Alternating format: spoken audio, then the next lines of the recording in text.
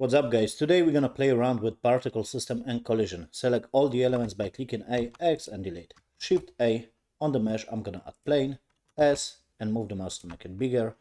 And GX, I'm gonna move this a little bit and GZ in this direction and up. And I wanna rotate this, so click N and I got right here on the Y rotation, I'm gonna add a little bit negative value, something like minus 40.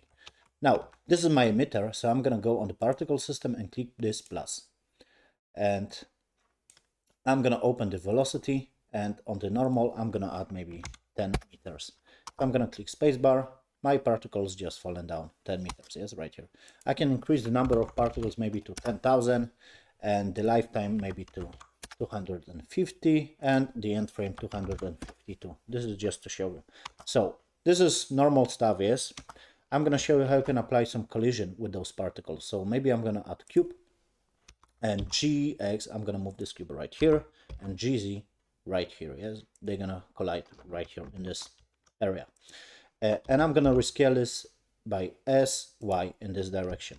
So if I'm going to just space bar, nothing's happened. Of course, those particles just fall in through this cube. But I can apply the collision on this cube. So I can select my cube and you want to go on this icon right here and choose collision. Okay and we gonna unselect this uh, cloud and stickiness or whatever it's called soft body because it's not working the particles. We got right here the particles. So if i'm gonna just go uh, to the first frame i got some collision with my particles yes already. And you got a couple of options that you can play around on this particle system on the collision right here on this cube yes? Or whatever object you want to choose so I got right here the first value and the first value basically, if I'm gonna just add this to one, all particles just going through the cube. Yes, if I'm gonna just increase this to zero, all particles gonna just bounce over the cube. And maybe to 50, you got 50% chance that particles gonna go through and some particles gonna just bounce over. As you can see, so some particles just going through and some just bouncing around. So this is the first kind of value, yes. You got, of course, the stickiness. I can increase this. Those particles just gonna stick to the surface right here. And they are bounce around uh, if they are falling down, yes. But first they are just get stick to the face, to the collision. So you can increase this, of course. And you can just turn this to zero if you don't want to have some sticky stuff, yes. On your collision, you got kill particles. So basically, if the particle just gonna collide with the cube, they're gonna get killed, if that makes sense. Look at that. So right here, they are gonna get killed and some particles, they are not colliding with the cube, yes? So that's why they are falling. But those particles, I'm gonna show you.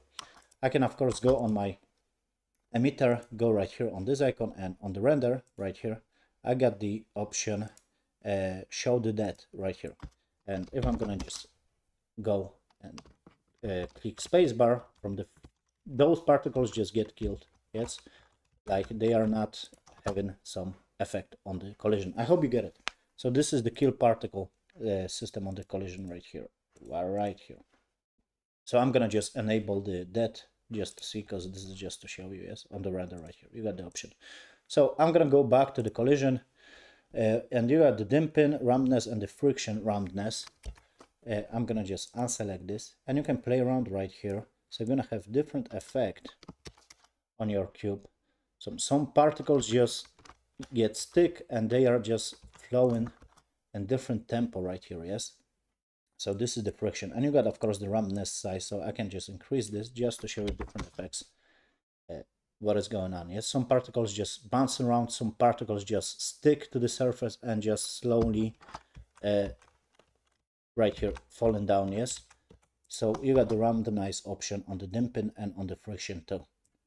So I hope you get it how this works, guys. You can create some interesting shit, okay, with the collision system and with the particle system together. Use yes, and of course I can scale this or use different mesh, yes, different surface and different options right here. Maybe I'm gonna increase the right here and maybe I'm gonna go 50-50 right here on this value and I got this stupid effect. And of course you can animate this by rotation, maybe. Yes, so I can maybe rotate this just to show you.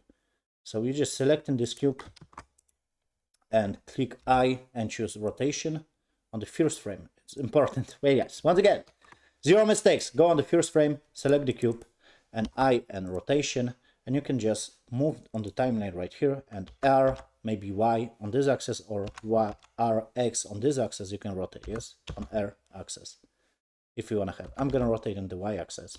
So R, Y, and I'm just moving the, my mouse a little bit to rotate this cube. Right here, something like that, and I right here and choose rotation keyframe. And my cube just rotates and I got different effects on my particles yes. I rotate this in the X direction too. My mistakes but I hope you get it how this works guys. So we can create very interesting stuff using the collision system and particle system together. I hope you learned something. Subscribe if you like this content. Like I said my mistake. I just rotate this in the X and Y direction. Whatever. You can play around on this stuff. Subscribe guys. Bye, guys.